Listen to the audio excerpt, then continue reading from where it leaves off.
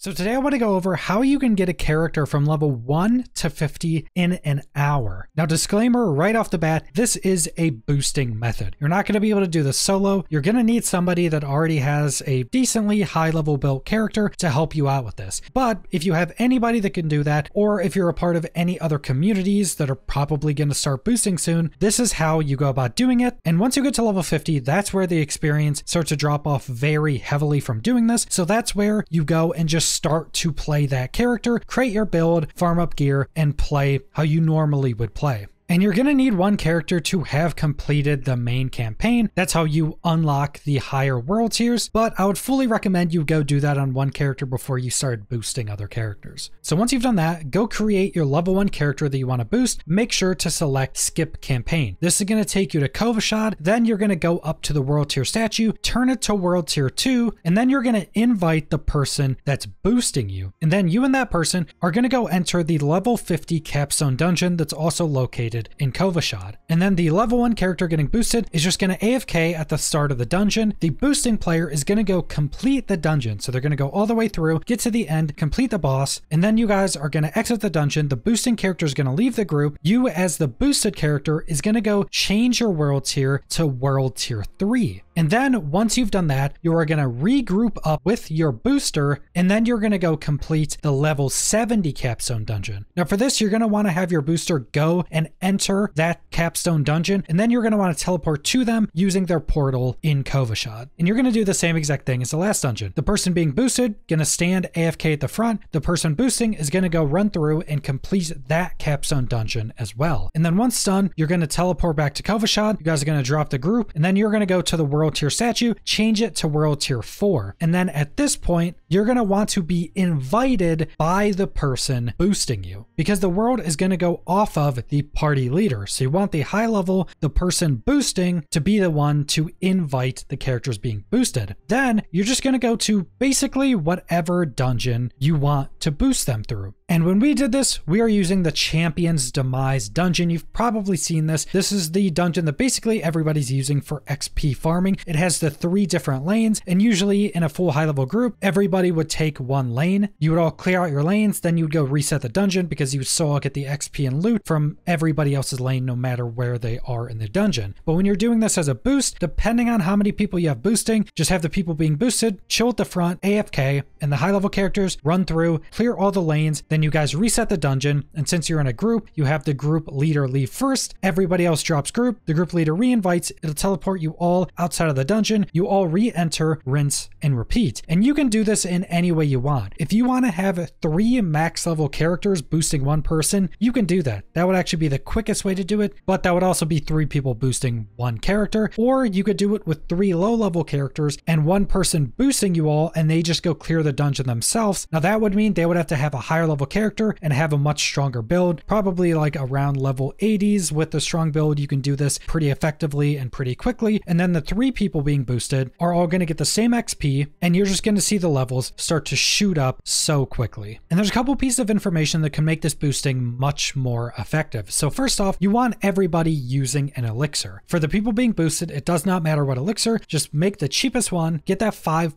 XP buff, and they do have to be a level 5 to use this, but they'll be past level 5 when completing the first two capstone dungeons. And then another thing you can do is have at least two people being boosted because then you're going to get the 5% XP boost being near another player and that's going to be doubled because you're in a group. But if there's only one person being boosted, they won't get that 10% XP buff increase because everybody else won't be near them. They'll be out clearing the dungeon. So maybe best to have at least two people being boosted and then maybe two higher level characters doing the boosting. And then you would just alternate. You would boost two people's characters up to level 50. They would get on their mains and boost your new characters up to 50. That would be the easiest and best way to go about boosting, especially when you're in a group of people you know. And then you can also get some very quick gear to start out with while doing this boost. So first off, they're going to be killing all these elites, And these elites are going to be dropping a ton of legendaries. Now, legendaries will get sent to your stash if you don't pick them up, but there can only be 10 legendaries in this recovery section at a time. So after you do maybe a few runs of a dungeon, go teleport back to town, go to your stash, and put those legendaries in your normal stash so it can keep sending unlooted legendaries to your stash. And then what we did is the run where we would get level 50, we would have the people boosting clear out all of the enemies, make sure there's no stragglers. Then the people being boosted would run through the dungeon and pick up all of the loot. So they pick up all the rares, all the legendaries, and any uniques that drop. This makes it so that new boosted character can at least have a starter set of gear to equip to go start playing the game normally. And again, this was only taking us around an hour to get a character from level 1 to 50, and in that time I got a full set of higher level legendary items to start off with my character at level 50. So that's all I want to go over, so thanks for watching.